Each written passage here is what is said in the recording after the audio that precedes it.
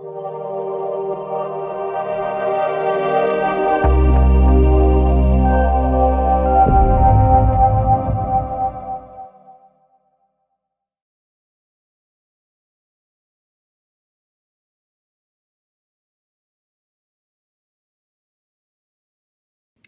Hello, Mrs. C back here.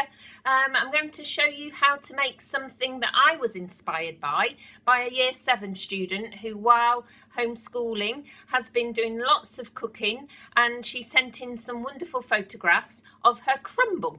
So today we're going to make a fruit crumble. Doesn't matter what fruit, um, see what's in your fruit bowl I'm going to use some apples and some blueberries and some bits of dried fruit that I've got left up in my cupboard. Um, but any fruit, whatever you've got, whether it's tinned, frozen or fresh, will work well in a crumble. So first of all, I'm going to prepare two apples. Okay, I've already got one done here that's diced. Um, it's up to you whether you leave the skin on or take the skin off. Today I'm going to take the skin off uh, just for texture reasons. The people that I'm making the crumble for perhaps prefer it softer. Uh, but if you leave the skin on the apple, it will work just as well. And also you'll get lots of the vitamins still in that apple and you'll get lots of fibre from the skin. So first of all, we're going to use a peeler. Okay, be careful with the peeler because again, they are blades and we don't want you to cut yourself and we're just going to get the peeler on the apple, making sure the blade is the right way and going to take the skin off. Now, I always try and test myself here to see if I can get the skin off in one go. It's quite difficult and you have to have your eyes on that peeler, remember, because of the blade, all right? And see if you can get that skin off without it breaking. No reason for doing this, just a bit of fun. Have a little competition for yourself. All right, and there we have the skin off the apple. Oh, I'm quite proud of that.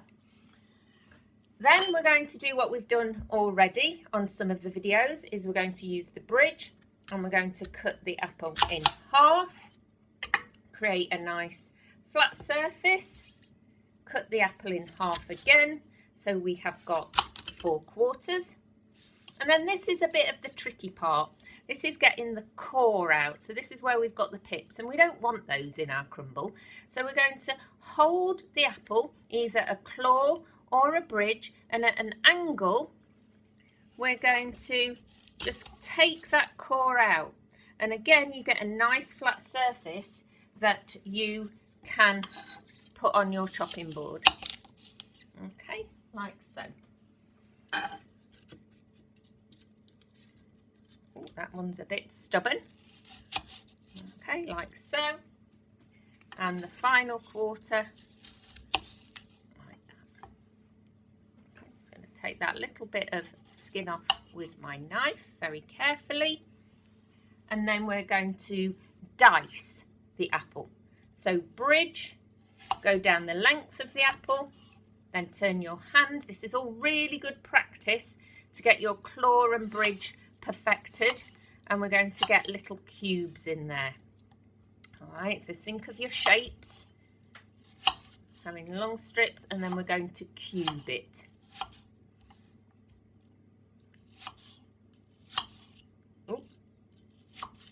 And cube.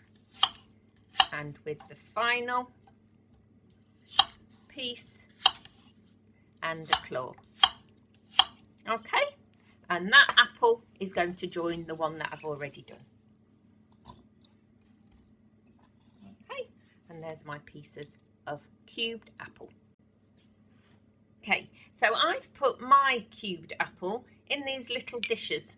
Okay, sometimes when you've had yogurts or you've bought a nice little dessert from a shop, you get them in these little pots. Don't throw them away because they come in really useful. So I've managed to fill six of these little pots okay? But if you're making it for a family you can just use one big dish. Doesn't matter what it is whether it's metal or glass. This one's called pyrex but you can put your fruit in the bottom of your dish so as long as it can go in the oven. Now I'm making these in little ones so that they can be frozen um, to eat at a later date so it doesn't get wasted. Also, these little ones are good for people who live on their own, perhaps. So, if you're making it for someone that you know who lives on their own or a grandparent and you're going to leave it on their doorstep for them, okay, it's a good idea to make little individual ones so that they don't waste it. Okay, to those um, apples, I'm going to put the bits of fruit that I've got left over in my fridge. I've got these lovely plump blueberries and they give a really nice moistness to the fruit in the crumble because they're quite watery but they also give a lovely colour as well. I have to hide these from Dexter, my dog, because he loves blueberries. So I am going to take two out because he has two a day. Okay, and I'm just going to pop those on the top of the apple mixture. Okay, I'm just going to put those on all of them. So here is where your maths comes in again because you need to really estimate, or you can estimate, how much goes in each dish. Or if you want to be really, really clever, you could count the blueberries and put the same amount in each pot. All right, just like that, look. So we're going to put that fruit in there like so. I've also got some bits of dried fruit that we're knocking around. This was when I made the Bircher muesli. Didn't get round to using all the little bits. So it's a good way of using up anything that's lying around your cupboard so it doesn't get wasted. Remember, especially at the moment, food, well, food is always very precious, but at, to, at the moment, food is even more precious so that we don't have to go out shopping all the time. Okay, so that's the fruit prepared. So to make the crumble topping, we're going to use 100 grams of flour. This happens to be self-raising flour because I've got a little bit left in the in the bag, but plain flour will work just as well. I think at the moment any flour is like gold, so um, whichever flour you've got in the cupboard. In it goes. We're then going to put 50 grams of margarine or butter or whatever spread you've got in there. And we're going to use our fingertips to use the rubbing in method. Now remember, when we do the rubbing in method, we want only our fingertips in there and we don't want the palms in there. What's that? Because it gets too hot and it melts the fat. Absolutely, well done, well remembered. So we're going to lift it up as we rub.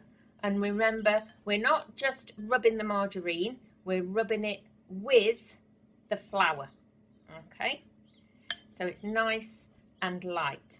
Also, by using our fingertips, we get that precious air in there as well to give it a really light texture. Okay, so we're just going to rub that in till it looks like breadcrumbs.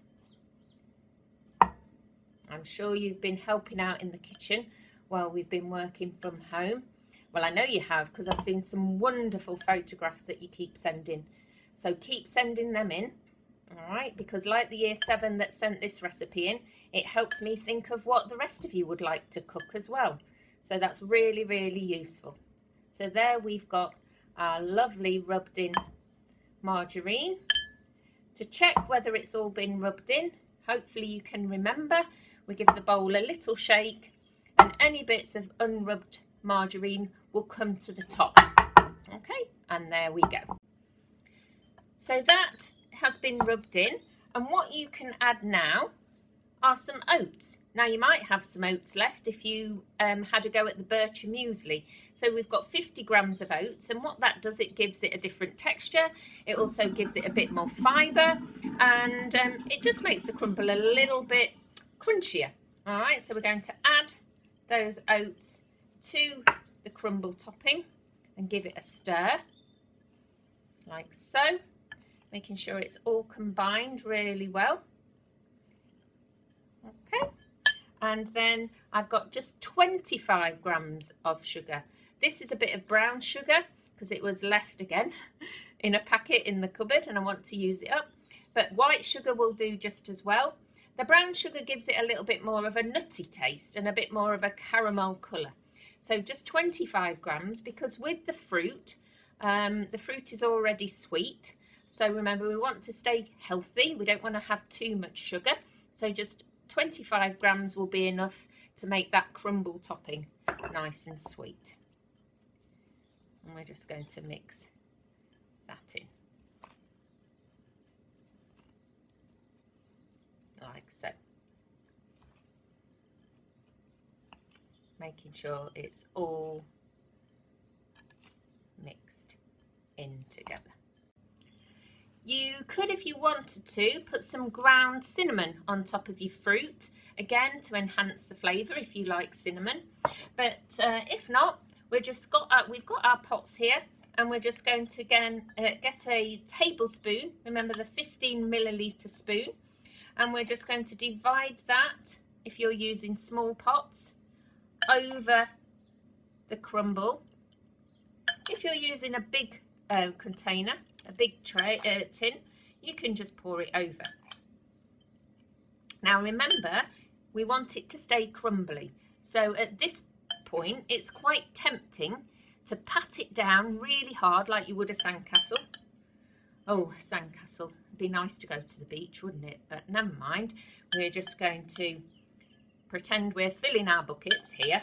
The sun's shining, so it's a bit like the beach today. Okay, and we're going to just cover all of that fruit. Now we want to cover the fruit so it doesn't all start bubbling out over the top, although I quite like that.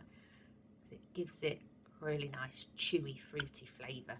All right, and we're just going to carefully, if you can see, just make sure all of the fruit is covered. And there we have our little fruit crumbles.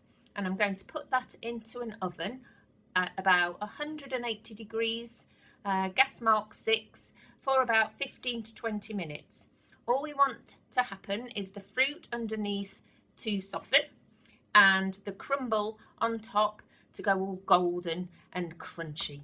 All right, so see you back in 15. Bye for now. So here we have our lovely baked crumbles fresh out of the oven.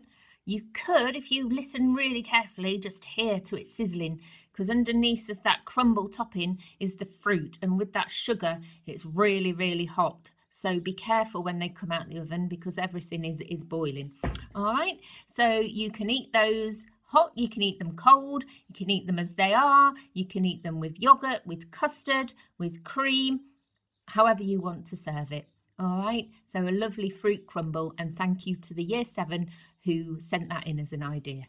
Good choice. See you again soon. Remember, stay inside, keep those hands clean, and bye for now.